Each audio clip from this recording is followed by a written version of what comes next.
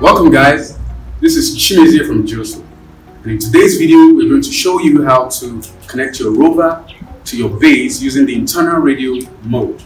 We're going to do this in as little as 3 minutes. Exciting right? You want to see how we do that? Stick around.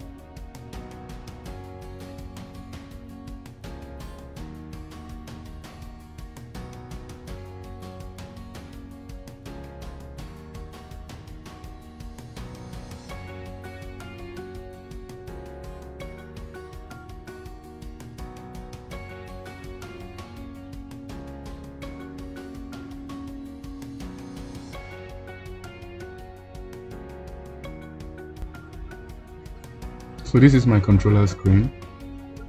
I'm already on a project which I've created. I'll click to edit the project now and change the datum. I'll be changing it to Minna and uh, OK.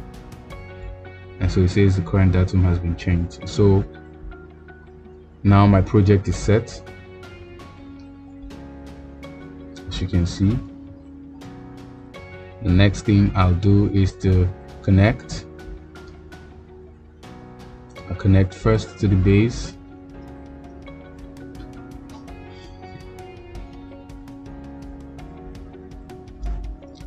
and then I'll have to set the parameters for the base the coordinates for the base I do that by going to my base page and selecting the work mode which will be based on control as we're setting over a control point.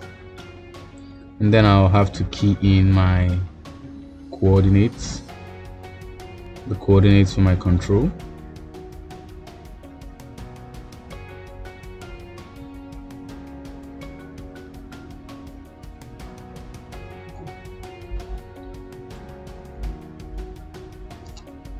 And for my northing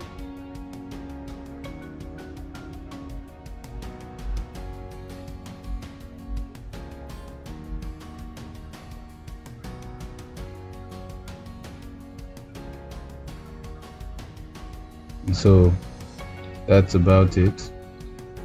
I'll click on OK. And it starts to configure my base. It will take just a little while after which the base will be settled okay my base is set. And so I have disconnected. I'll connect to my rover now.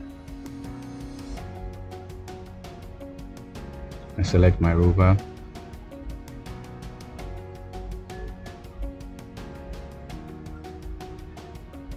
and I have my rover fixed as you can see.